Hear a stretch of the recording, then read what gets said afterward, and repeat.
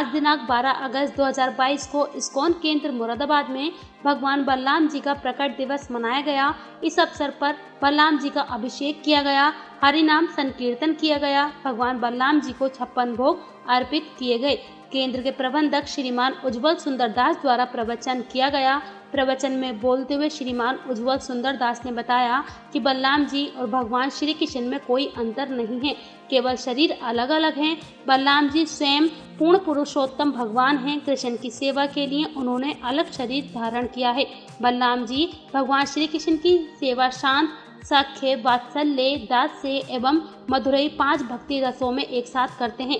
भगवान की सेवा करने के लिए अपने आप को पाँच रूपों में विस्तारित करते हैं। भगवान कृष्ण की सेवा में जो भी सामग्री प्रयोग होती है, वे बलराम जी का ही विस्तार होती है।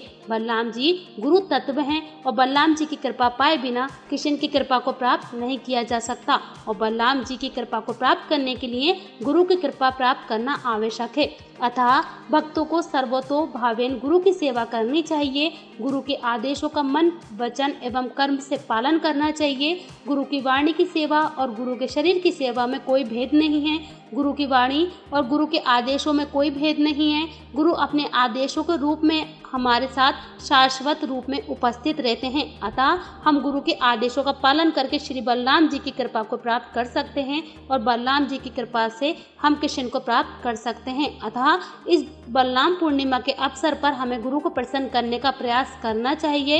इस कार्यक्रम में श्रीमान समर्पित गौरदास, अनिकुल हेग्रीब दास शरण प्रिय दास, सचिनानंदन दास, राधाकांत गिरधारी दास, राधिका माधव दास, मोहित अग्रवाल अरुण प्रभु, अमल अर्चन दास आदि भक्तों ने हरिनाम संकीर्तन पर नृत्य कर सभी ने प्रसाद पाया।